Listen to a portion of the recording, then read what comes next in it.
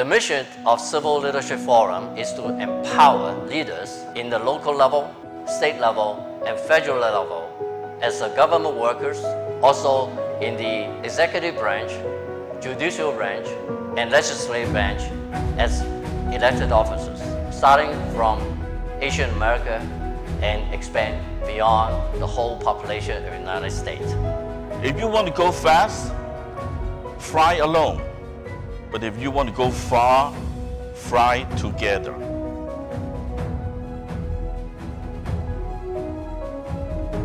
Join us.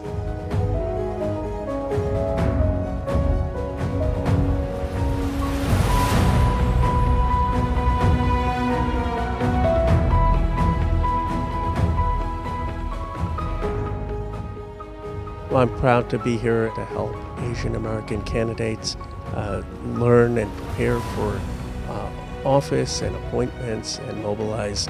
That are just that's just some of the things that we've done in order to ensure that our civic rights are upheld. If you're not on the table, you're on the menu. And we need to encourage young people to seek office. You're the best and brightest in that competitive field. We do that for our families. You can do that for the community. That's what civic engagement is all about. And it's very important right now to go ahead and advocate for our community.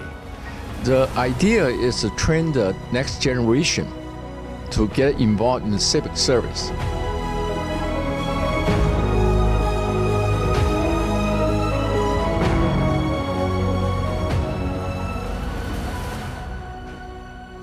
Getting together, find one other person to speak, or invite some, some speakers on every subject that providing election, providing appointment, and providing how to move up within the government.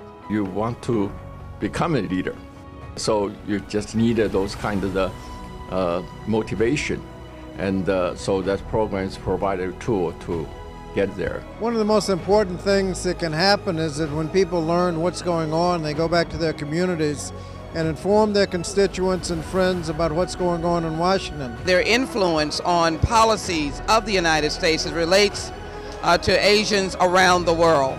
Have now built this organization into something like 23 chapters across the country. We would like to have a great United States of America.